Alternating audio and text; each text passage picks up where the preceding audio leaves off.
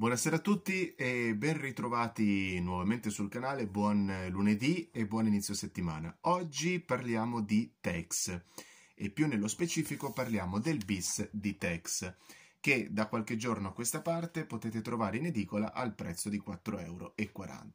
È il quarto dei 5 bis che sono stati annunciati dalla Sergio Bonelli Editore. Come potete vedere dalla quarta di copertina, finora sono già usciti quello di Nathan Never, quello di Dylan Dog e quello di Zagor, di cui ho parlato anch'io, resta da parlare di quello di Dragonero, che dovrebbe già essere uscito, ma almeno nella mia zona non sono ancora riuscito a trovare.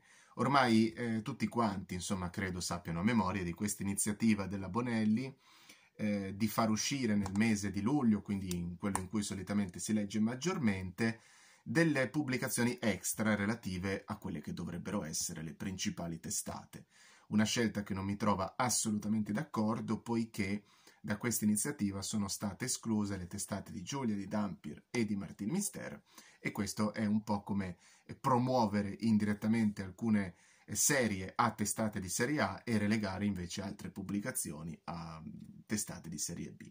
Quindi eh, differenziarle in, eh, per quanto riguarda la loro importanza, scelta secondo me assolutamente sbagliata.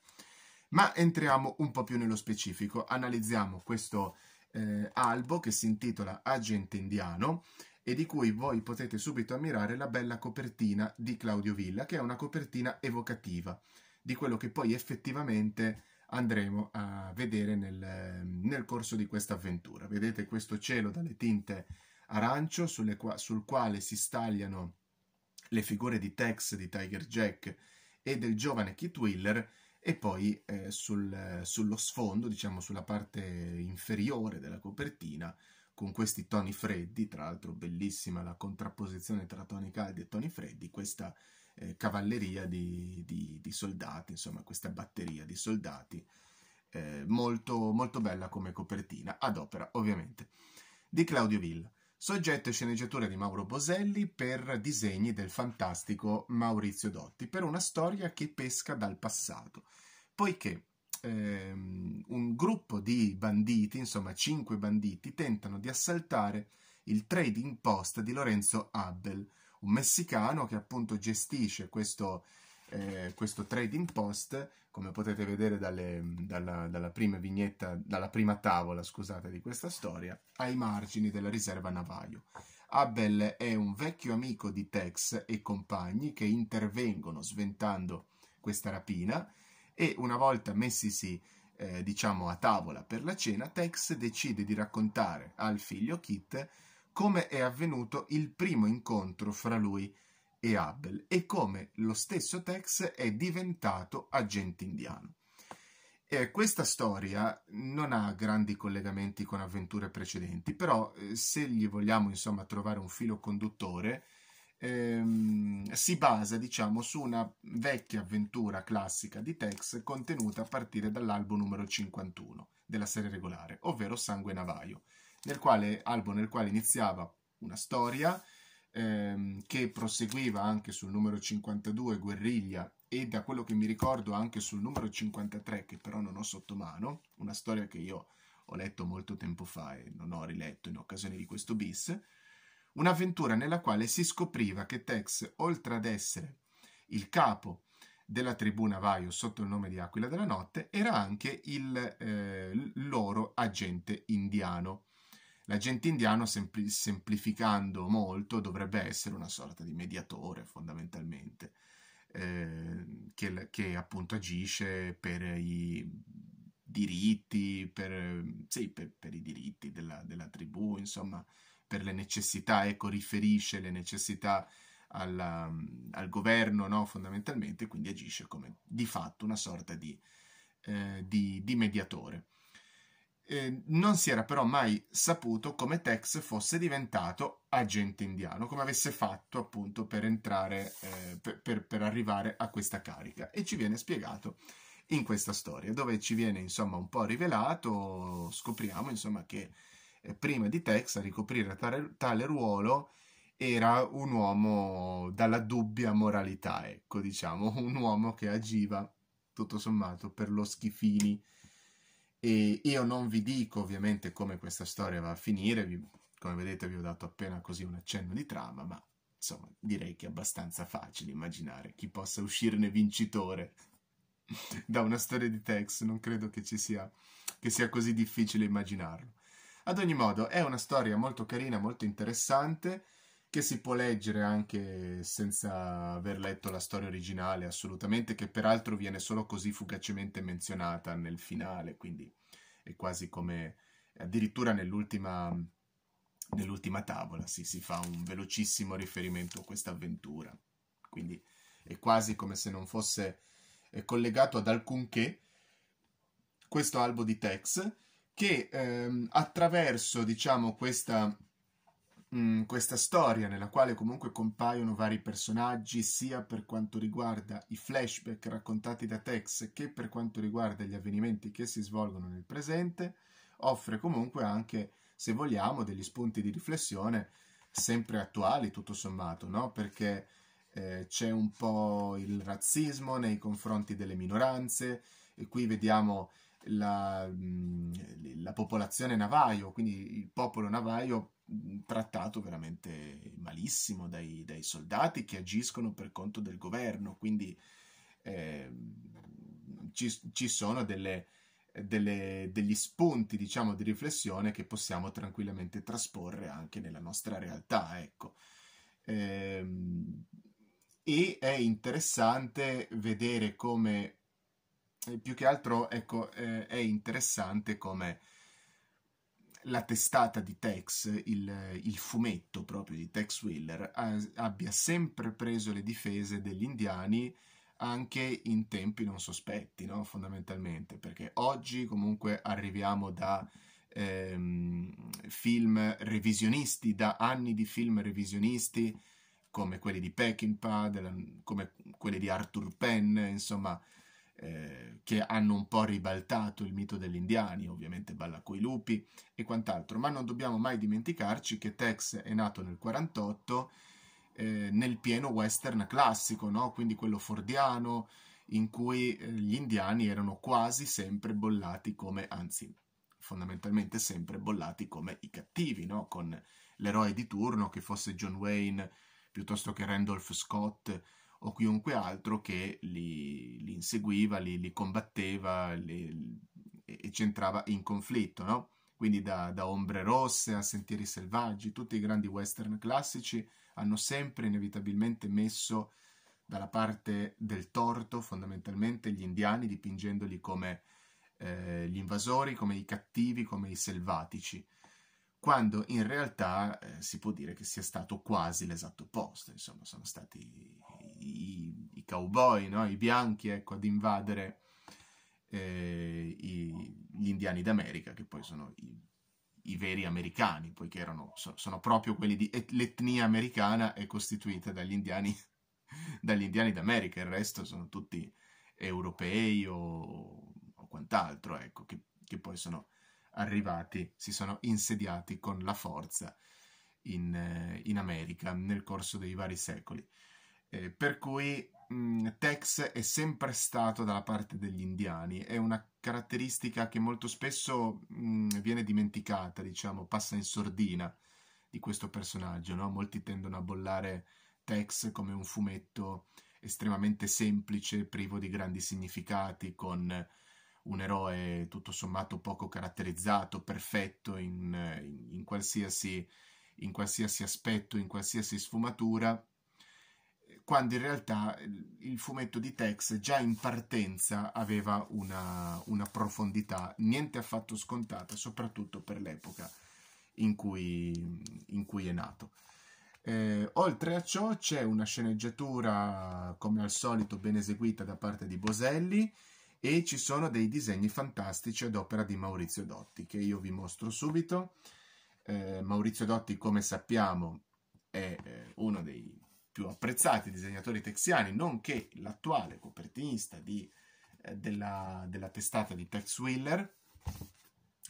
Maurizio Dotti fa dei veri e propri capolavori sul, sul, con, sulle copertine di Tex Wheeler, sono delle copertine fantastiche, meravigliose E da qui mi viene da dire che eh, se, questo, se questo text bis fosse stato a colori, secondo me sarebbe stato meraviglioso con i disegni di Dotti, con la colorazione proprio eseguita dallo stesso Dotti. Questi bis li potevano fare a colori. Ecco, sarebbe stato un modo per eh, renderli veramente, veramente speciali. E non è stato fatto, ma in, ad ogni modo i disegni di Dotti sono veramente eh, meravigliosi. Ci sono delle espressioni fantastiche. Qua vediamo eh, Tex. Mm, notate anche il gioco di luci, no? Perché molte delle sequenze raccontate in questa avventura si svolgono di notte e i disegni di Dotti risultano sempre molto luminosi anche nelle ambientazioni notturne.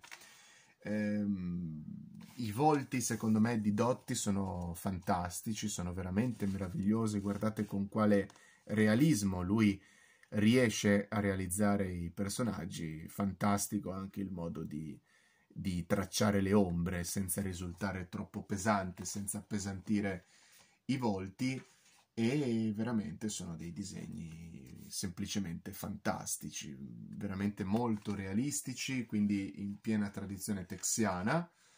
Ehm, qui vedete un altro bellissimo primo piano di Tex e sono delle tavole che veramente si, fa, si, si leggono con piacere, anche per merito, anche e soprattutto direi per merito dei, dei disegni di Dotti. Guardate appunto quello che vi dicevo prima, no? quanto le, le, varie vignette risultano comunque luminose, nonostante siano ambientazioni notturne cariche di, di ombre.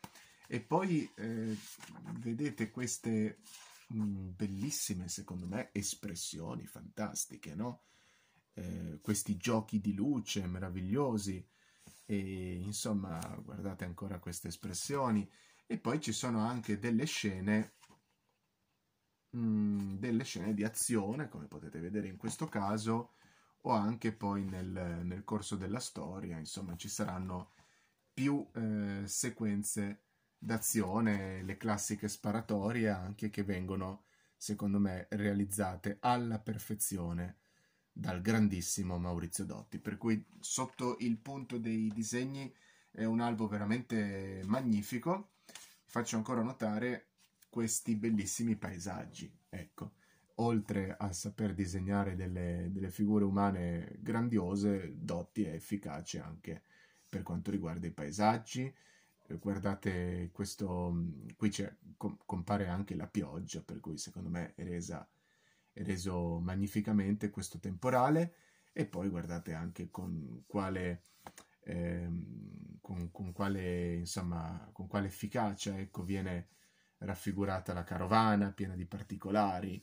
Insomma, è mm, veramente un ottimo lavoro dal punto di vista grafico. Queste sono tavole sulle quali ci si sofferma sempre molto volentieri. Dotti, secondo me, è uno degli artisti più eh, quotati eh, tuttora in azione sulla testata di Tex.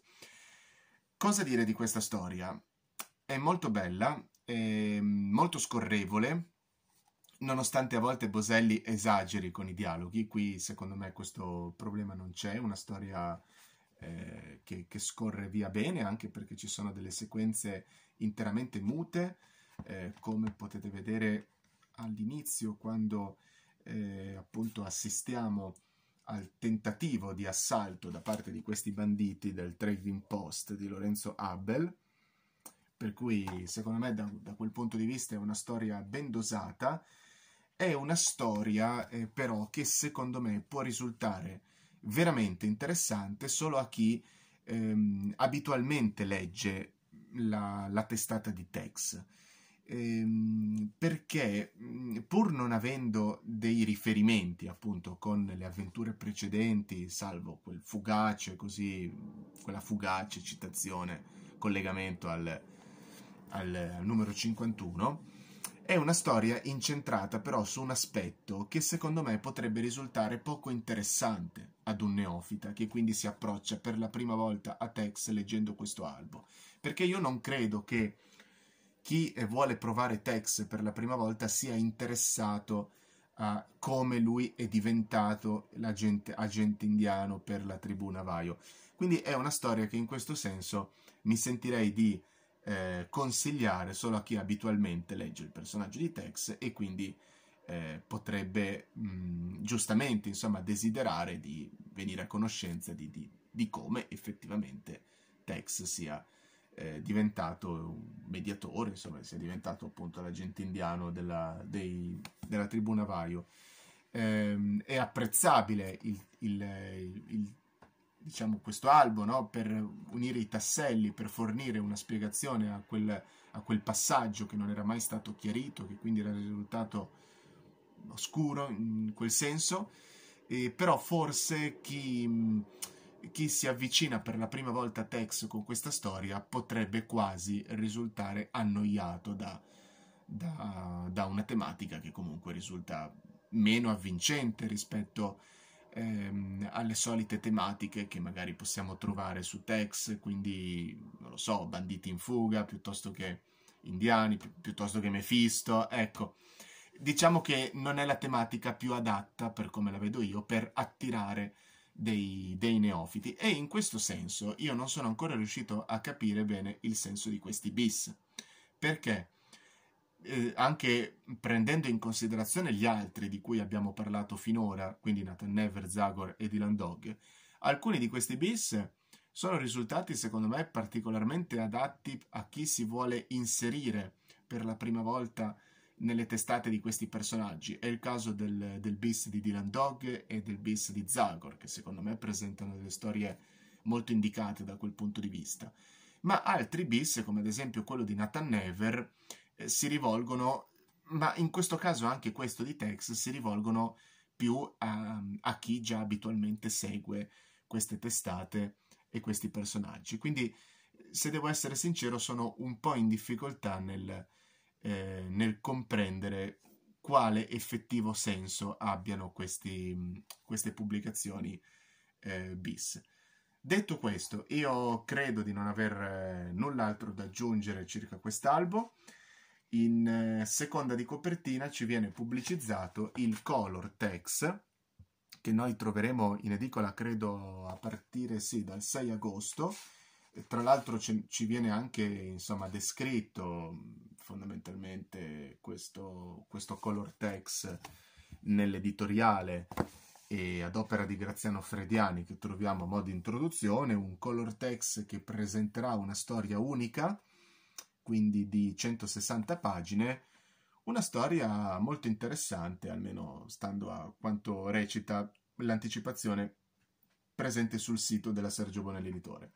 Unico grande vincolo, il prezzo, anche questo color text sarà di 7,90 euro e come credo che lo saranno anche tutti gli altri color che arriveranno in edicola. Abbiamo già visto il Dampir Color al prezzo veramente limitativo di eh, 7,90 euro, veramente molto, molto esagerato per come, per come la vedo io.